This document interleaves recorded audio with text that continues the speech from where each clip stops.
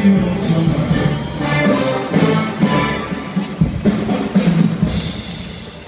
and gentlemen, what was your extra off the women on that? Cha-cha-cha.